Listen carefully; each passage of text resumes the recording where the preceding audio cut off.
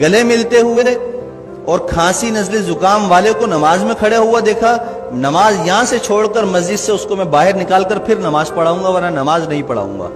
आप लोग याद ही नहीं कर रहे हैं। इल्ज़ाम हमें देते हैं, डॉक्टरों को देते हैं, डॉक्टर अपनी जान जो है ना, उनकी अजाब में आई हुई है, मर रहे हैं डॉक्टर, उनको वेंटिलेटर नहीं मिल रहे हैं। आप लोगों ने खेल बनाया हुआ है कोरोना को। भाई, ये कोरोना खत्म होने वाली चीज़ नहीं है। पाँच साल तक खत्म नहीं होगा, ये आपको मैं बता दूँ, लिख कर दे रहा हूँ मैं आपको। ये चलेगा ऐसे ही।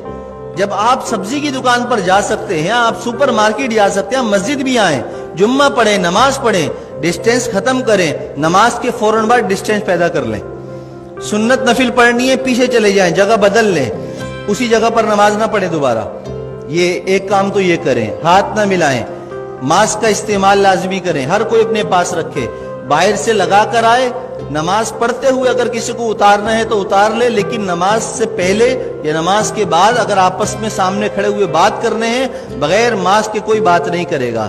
अगर करेगा तो इन ताला उसके खिलाफ बयान भी होगा, उसके नाम लेकर फिर सब तरीक किया जाएगा। इज़्ज़त बहुत हो गई है। आप लोगों ने मुझे बेइज्जत कर करके तंग करके रख दिया है, अब नहीं।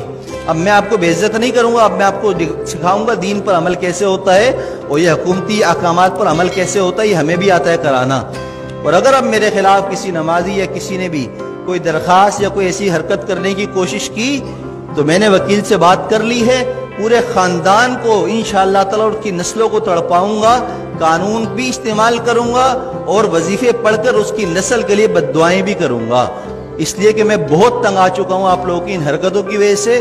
तीन महीने हो गए मुझे बर्दाश्त करते हुए बद एहतियाती खत्म करने का नाम कोई नहीं ले रहा। बस टाइम पर टक टक टक टक अजान, टक टक टक टक अजान। अबे परहेज तो करो। जो डॉक्टर कह रहे हैं वो तो करो, जो ओलमा कह रहे हैं वो तो करो।